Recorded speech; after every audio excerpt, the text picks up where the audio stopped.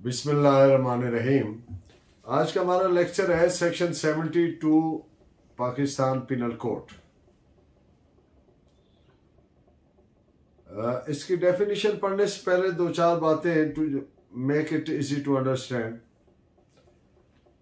جب کوئی عدالت کسی فوجداری مقدمہ میں کوئی فیصلہ دیتی ہے ججمنٹ دیتی ہے، اور ان میں سے جو ثابت شدہ فیکٹس ہیں اسٹیبلشڈ فیکٹس ہیں پرووڈ فیکٹس ہیں، جو افینسز بنتے ہیں سیورل افینسز ہیں۔ اور ایک ملزم ہے جس کی بابت یہ فیکٹ تو ثابت شدہ ہے کہ اس نے سیورل افینسز میں سے ایک افینس کیا۔ ہے لیکن یہ ڈاؤٹ فل ہے as to which one is that one offence کہ وہ کون سا وہ افینس ہے جو اس نے کیا جب یہ ڈاؤٹ ہو، تو پھر ایسی صورت میں عدالت ان دیے گئے افینسز میں سے جو جس افینس کی سزا سب سے کم ہے، اس افینس کے تحت اس کو سزا دے گی۔ تو یہ ایک رف سا اس کا سکیچ ہے۔ اب میں ڈیفینیشن پڑھ دیتا ہوں section seventy two P P C کی، اور پھر آگے کے اصلاح وغیرہ سے اس کو فردر الیبوریٹ کریں گے تاکہ یہ بات بالکل کلیئر ہو جائے۔ Punishment of person guilty of one of several offences, the judgment stating that it is doubtful of which. In all cases in which judgment is given, that a person is guilty of one of several offences,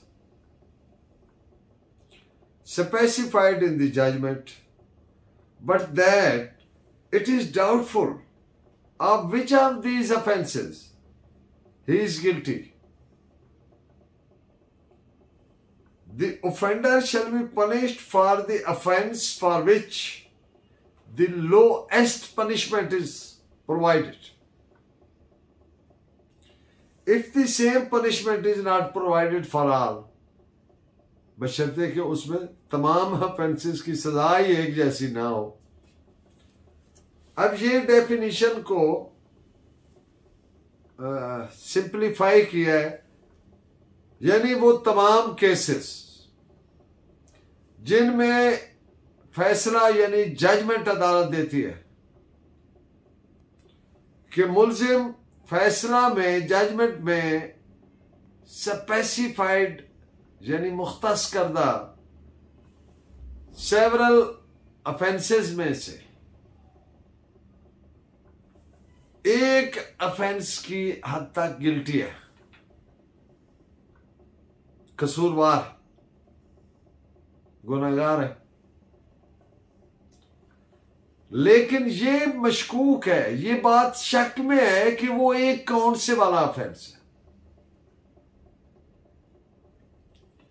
تو ملزم کو ان دیے گئے several offences کئی offences میں سے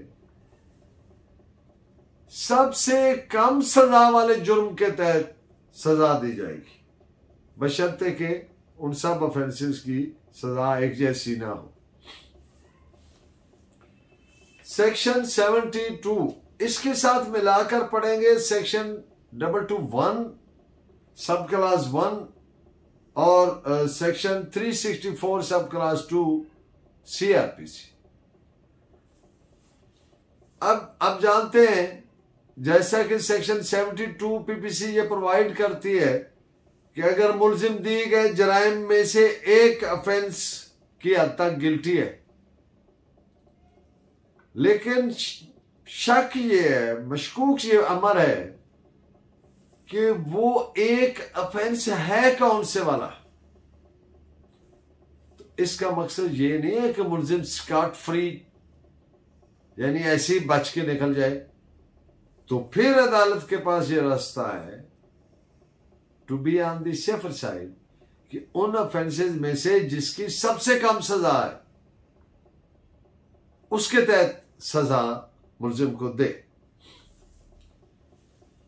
جب ملزم کے ایک بات ہے کہ فیکٹ یہ ثابت شدہ ہو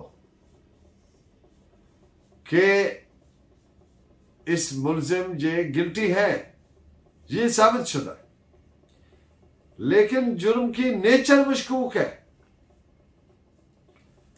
تو section seventy two P P C section double two one, sub class one اور section three sixty four, sub class two C R P C کی طرح۔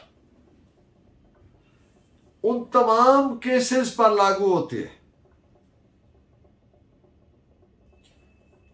جب فیکٹس پرووڈ ہو اسٹیبلشڈ ہو، ثابت شدہ ہو۔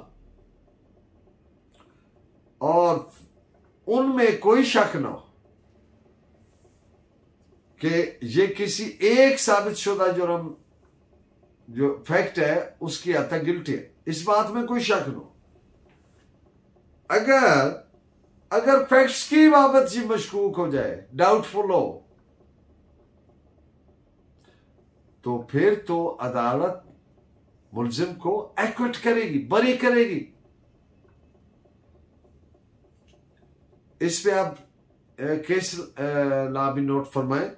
A I R nineteen fourteen Lahore page five four nine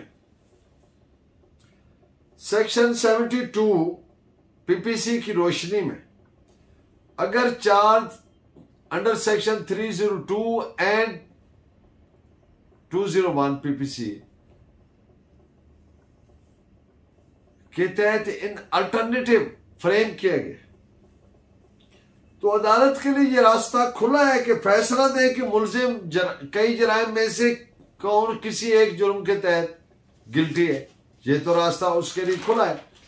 لیکن یہ مشکوک اگر ہے کہ وہ ایک کون سے والا ہے، تو پھر ایسی finding section 354 sub class 2 C R P C کی بالکل مطابقت میں یعنی نکارڈس ود دیٹ ہے۔ اور اس کا پھر کانسیکوینس کیا ہے؟ نتیجہ کیا ہے؟ کہ سیکشن بہتر کے تحت ملزم کو سب سے کم جرم والے افینس کی سزا دی جائے گی پنش کیا جائے گا۔ بشرطے کے تمام افینسز کی سزا برابر نہ provided who. This is reported as A I R nineteen forty Patna page two eighty nine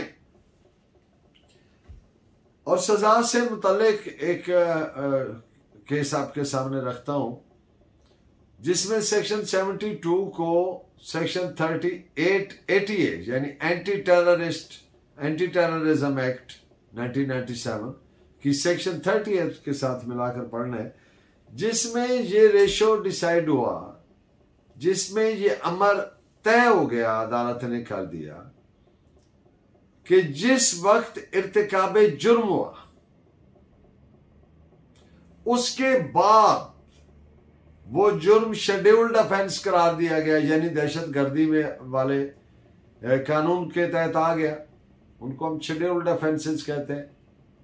کہ جب ہم کہتے ہیں شیڈیولڈ افینس ہے، تو اس سے مراد ہوتی ہے کہ یہ اے ٹی اے میں اے ٹی سی ٹرائی کرے گی اینٹی ٹیررسٹ کوٹ تو پھر سزا اس جرم کے تحت جو شیڈیول میں آنے سے پہلے کمٹ ہوا تھا، پہلے والے قانون کے ہی تحت دی جائے گی۔ تو اس پہ پاکستانی سپریم کورٹ کا فیصلہ ہے two thousand S C M R page one double seven three آپ کا بہت شکریہ جو آپ ویلیوبل کمنٹس اور میسیجز اور مجھے گائیڈ کرتے ہیں۔ Keep watching and guiding me thank you very much Allah نے کے بعد